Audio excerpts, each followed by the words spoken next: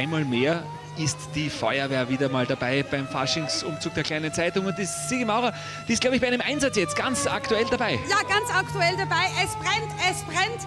Und die schlagen sich aber trotzdem gut, die Floriani-Jünger aus St. Stephan ob Steins, aus der wunderschönen Weststeiermark.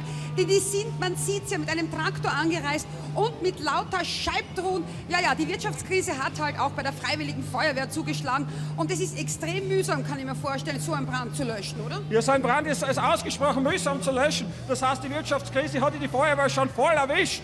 Und unsere Feuerwehr in St. Stephan ab Steins ist natürlich schon gerüstet und wir haben schon die Zukunft gedacht. Und das heißt, das ist dieses neue Einsatzfahrzeug mit einem Achtsitzer, mit allen Gerätschaften. Das heißt, die Feuerwehr ist einsatzfähig und schlag, schlagfertig. Ja, das ist gut so. Allerdings, man sollte dann schon zwei Tage vorher sagen, übermorgen wird es brennen, nicht? damit sie auch rechtzeitig kommt.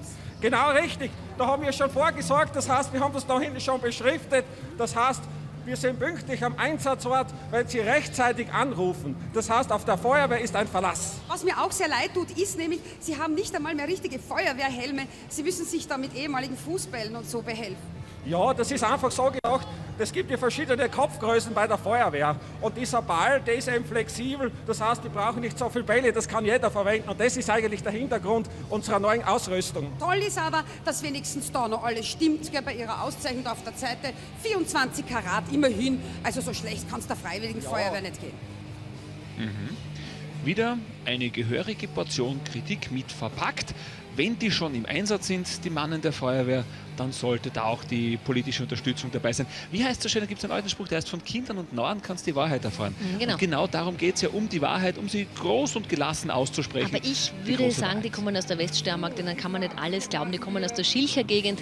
Ich glaube, die können auch einen Brand löschen, auch wenn sie vielleicht zwei Tage vorher nicht wissen, was in zwei Tagen passieren wird. Mhm. Frage Haben die noch? Womit sie ja, genau ja. diesen Brand löschen. Äh, Ein paar Fasseln ja. findet man das sicher noch in irgendeinem Weinkeller. Sie sind zum ersten Mal dabei übrigens, die Freiwillige Feuerwehr. Und nicht die einzigen Feuerwehrleute, die heute hier mitmachen. Also ich hoffe, es brennt nicht in St. Stephan ob Steins, weil die sind alle da. Gut aufgelegt, gut geschmückt.